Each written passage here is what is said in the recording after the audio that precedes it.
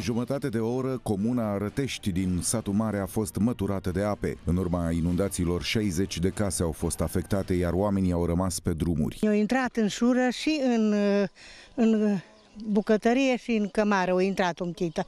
Am sărit repede, până ploaie așa m-am dus.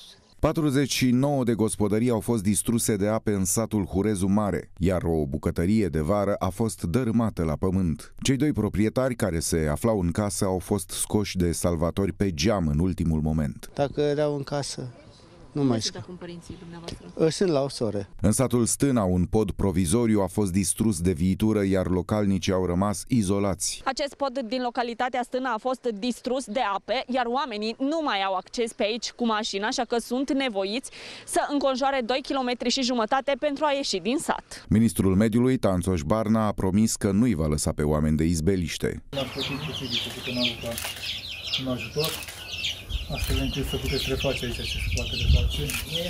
O să fie implicate și construcții care nu vor rezista. Și în județul Hunedoara, o ploaie torențială de o oră a inundat centura orașului Devei, iar șoferii au fost nevoiți să treacă cu mașinile prin șuvoaiele de apă.